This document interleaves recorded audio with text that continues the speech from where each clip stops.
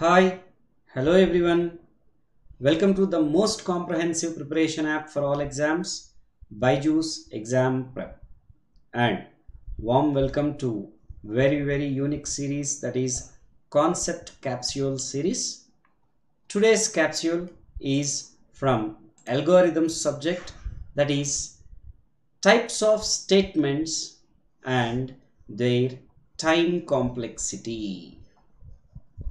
Generally in algorithms, we will see different types of statements and we will be worried how these statements time complexity can be found right? So this capsule is going to help you out to find the time complexity of different types of statements generally what we find in algorithms. So it let us get into this today's capsule.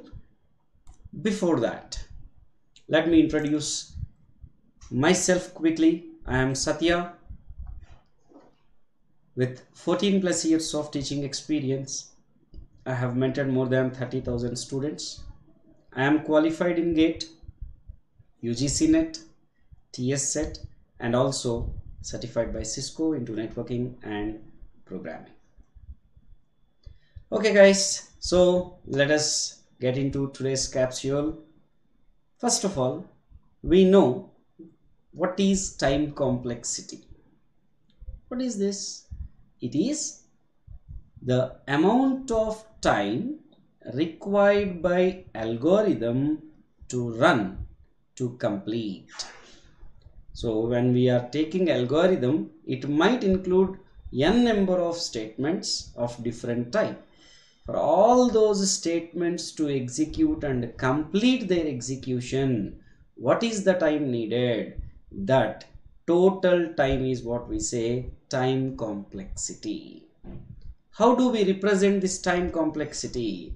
It can be represented with asymptotic notations. What are different asymptotic notations we have? Omega notation theta notation big o notation and of course small o. Omega notation represents best case time complexity.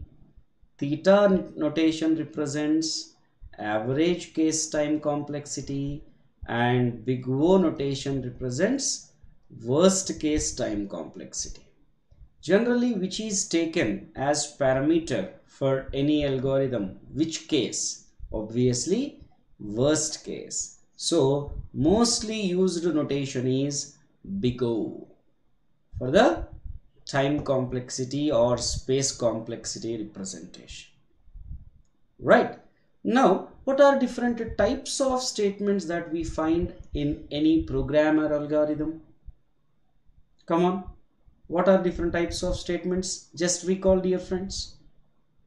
Here we see the different types of statements an algorithm or program comprises are declaration or initialization or assignment statements means you will just say int x or you say int x is equal to 9 or you you might say some i is equal to j plus k divided by l something like this. So these are declaration or initialization or assignment statements or computational statements. You might be doing some n is equal to n mod r plus. Right. N into r plus k or some j is equal to 542 plus 399 or 392 divided by 19 like this we might write some computational statements. Definitions. You may take some function definitions as some void fun of n with some body. Or you may assume some preprocessor directives or macro definitions like hash define. Some pi is equal to 3.14 or you may include some linkage section like hash include statements also. And IO statements that use scanf, printf or unformatted functions like getch, puts, gets kind of. What else we will write in an algorithm or program?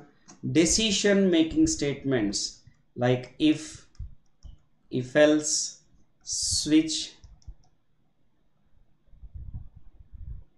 these we say decision making statements and along with this looping statements or iterative statements.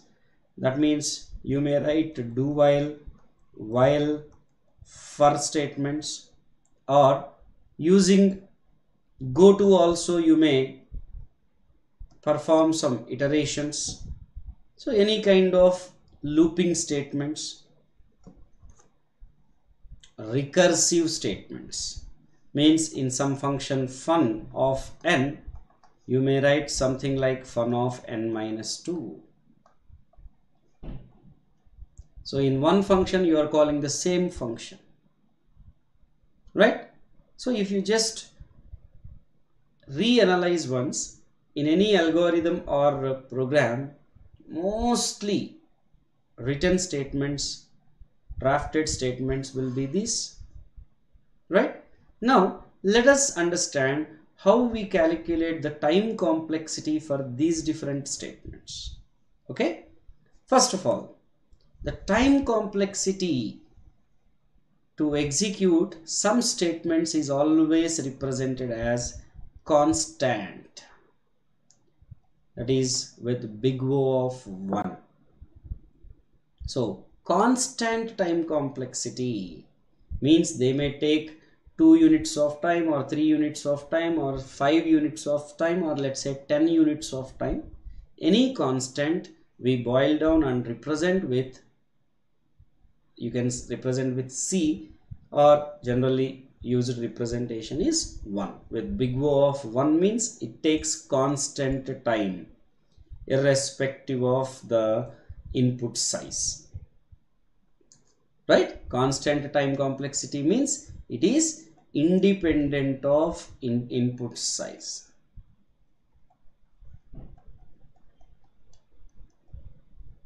So what type of statements generally take constant time? Here i present the statements that take constant time.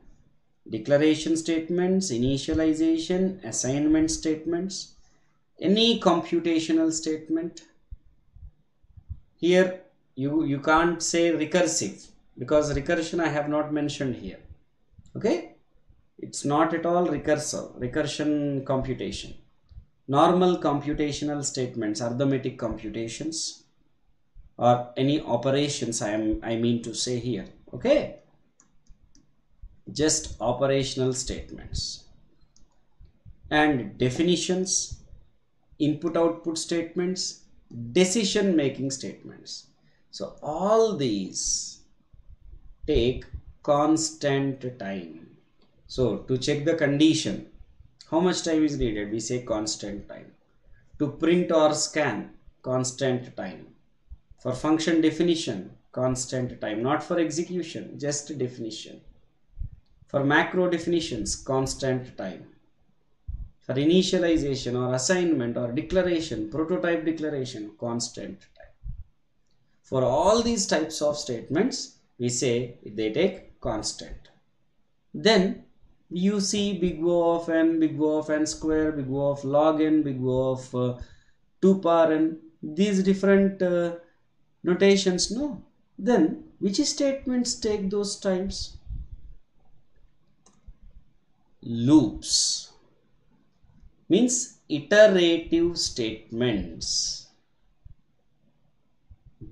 for this you will see those big O of n or n square or log n or n log n these kind of notations you will see generally for loops or iterative statements So for what loops, what is the time complexity? That is not generic dear friends.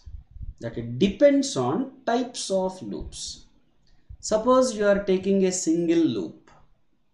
Just there is one loop. So what is the time complexity? That is equivalent to the number of times the loop executes. The block loop block executes. If it executes for n times that would be big O of n. That if that executes for log n times that would be big O of log n. Right? If we are having multiple independent loops means you are having two loops, three loops, four loops not nested they are independent loops then how you calculate the time that would be equal to summation of all loops time. Then asymptotically when you make equal that would be equal to maximum of all loops time. For example let's say there is one for loop that is taking log n time. There is one for loop that executes only one time. There is one for loop that executes n times. Now actually you are supposed to sum up all. So the time taken by these will be you say 1 plus log n plus n here which is bigger in terms of n n or log n or 1 automatically n. So finally we will represent it as big O of n. So initially you can say it is sum of all the loops time asymptotically when you represent that becomes maximum of them. And if you are having nested loops one loop inside another loop then the time complexity will be equal to product of all loops time.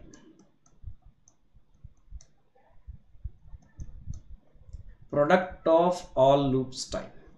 For example, here I am having one for loop inside which another for loop. Let's say this takes log n time, this takes, this executes n times. Then what would be the time complexity of this we say big O of log n into n or n into log n similarly if we are having two for loops uh, three for loops if one executes let's say outer for loop executes n square times second for loop executes n times and third for loop executes log n times. Then what would be the total time to execute this loop? We say it is big O of n into n square into log n. That would be big O of n cube log n. So for every loop you cannot generalize. If it is a single loop, simply how many times that loop statements execute. If they are independent, we sum up or you take the maximum of which loop takes eh, iterates more times that time we will consider.